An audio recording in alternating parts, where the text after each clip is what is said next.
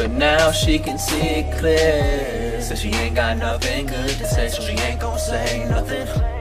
You ain't shit. I'm talking to the Warriors. I'm playing, I'm not, cause y'all be biased as fuck. So she ain't got nothing good to say, so she ain't gon' say nothing. I get you wet as you can get, I make it trip. I make it trip. I'm gonna just say one thing before we start this. LeBron better be playing. Please, please, LeBron, please. I, I want to have a valid victory for my for my team. Okay, we don't win a lot. Okay, we had a okay, we had a little streak. Don't don't count that. All right, that was chalk. That that, that streak was chalk. We got lucky. We got lucky. I want to get a legitimate win here. This literally just came out ten minutes ago. Y'all are lucky. I stayed up late tonight, so because I won't be dropping this right now, but I am because I do this for y'all. You know what I'm saying? But this gives, gives us a good time to talk about both these teams. Is LeBron playing? There is LeBron James, and there's Kyrie. Okay, we're cool. Okay, so if we win, this is fair. that another game I fucked up. I didn't know that they weren't playing and we fucking dirty balled the Cavs. I didn't know that was gonna happen. I didn't know. What do you want from me? But you know, they going to work. But damn, that's kind of dissing. You going not play in Miami? That's kind of uh. How do y'all feel about that? Let me know. Like, how do you feel about LeBron taking all these rest games? Like, in in one way, I kind of understand it because like you know he's old as shit. He's like 32. Well, he's not old as shit, but his body's like he needs the rest for the playoffs. That's all he's worried about, and I can understand that from a player's perspective. But like from a coaching perspective and from like an owner perspective, you want your superstar player to be playing every game. But you know, I guess the coaches understand a little more that they need to rest their best player. But like an owner, they want to make money. so they want their best player. They want to sell out games, and like it's probably pissing off other owners and other GMs because their place isn't getting as much money because LeBron's not playing that night, or maybe they like. I guess you can't unsell your ticket or you just get rid of your ticket. You can't just cancel it. So I guess you already bought the ticket. Damn, that's dickheadish though. You go you go to watch LeBron like that's like the one thing you wanted to do and then you end up just not watching him. That's fucking crazy, man. Yeah, let me know what y'all think about that. We just watched Isaiah Thomas. I love Kyrie. You're such a god.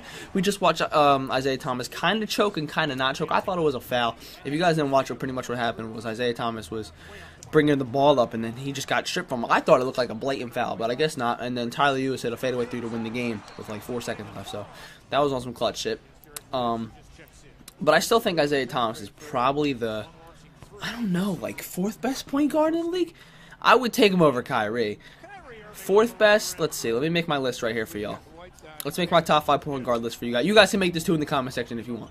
But I'm going to go ahead and say that my top five point guards is definitely Steph first. I mean, if I'm making it off talent, because who I would take, I would take Chris Paul second. I would take Chris Paul second because someone like Chris Paul is able to create for my team so much. Ooh, whoa, whoa, whoa, whoa, whoa. Who got hurt? Who was that?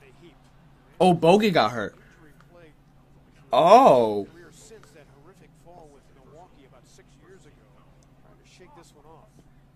He said he think he broke it. Ooh, shit. Ooh, that is not good for Cleveland fans. That's not good. Y'all need him. He played like two minutes and he's done? Damn. That's rough. That's rough, man. Y'all just paid him and he gets injured the first fucking game. That's rough. Yeah, I feel bad for y'all. Damn. Damn, that's rough. Okay. Again, we don't laugh at injuries. It's not gonna happen. I'm not gonna be like, yes, he got a Cavs injury. Now it's gonna be a fair finals. No, I'm not. I'm not fucking stupid. I'm not gonna laugh at that. But um, what were we talking about before the injury? Oh, my top five point guards, right? So yeah, I would take Chris Paul second on on the base the fact that like he would control everything. I know Westbrook does a really good job of that, but like when Westbrook had really good players, he would still like he wouldn't make the effort to go to those guys. Like he wouldn't pass the ball Durant as much. Like he wouldn't facilitate like that. Like Chris Paul understands that he has two great players in Blake Griffin and DeAndre Jordan, and he's getting to go. And, and, I know you guys sometimes bring up the argument like they're not winning. They like they just can't win. But that team has no holes. That team has no holes, like at all. They have shooters. They have isolation guys. They have dominant forces like Blake Griffin and DeAndre. They have guards who can control the ball, like Chris Paul and Austin Rivers a little bit. Don't don't don't underrate Austin Rivers. You know he kind of does his thing. So Chris Paul's definitely my second guy. Westbrook's probably my third, who I would take.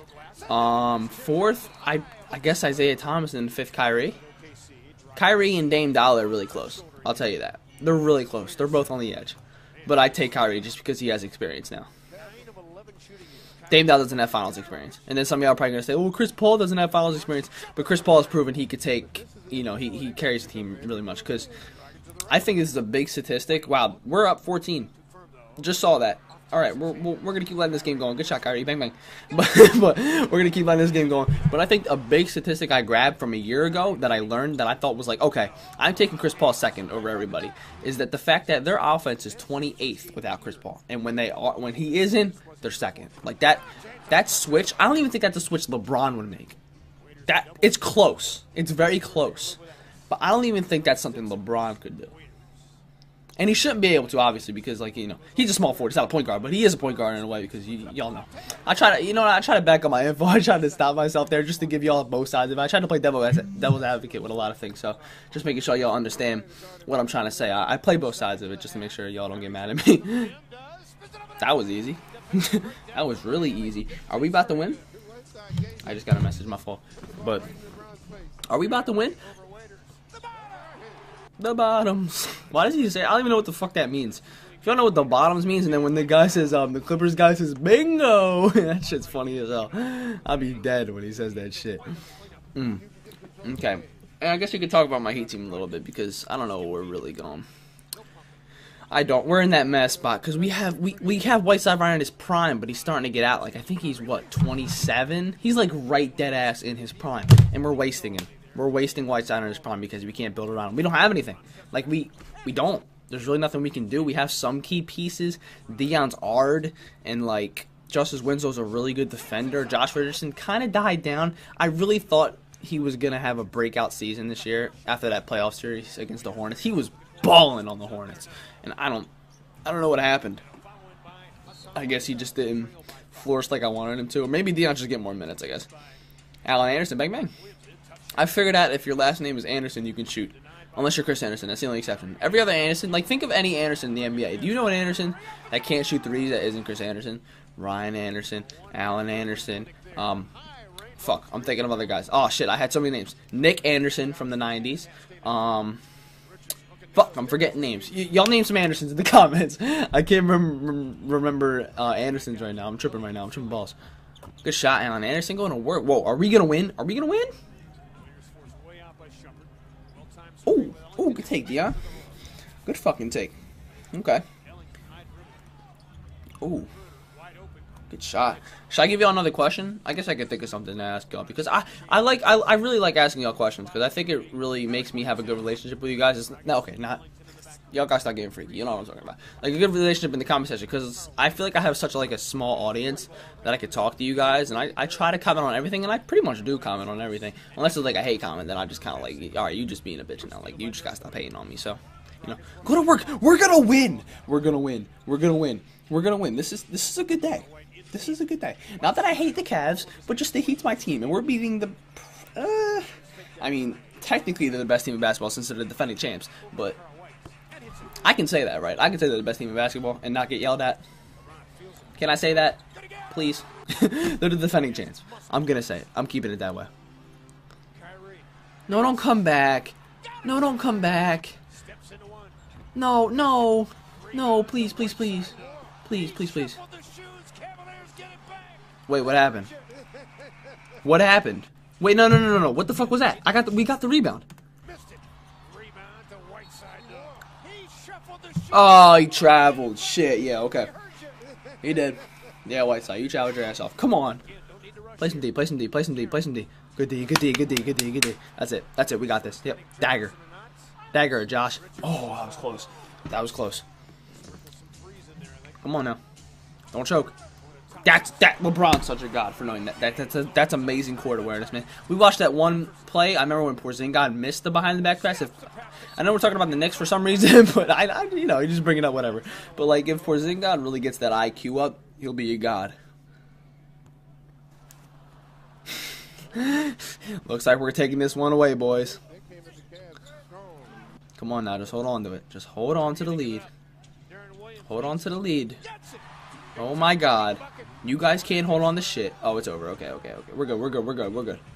Pop it. Pop it, Dion.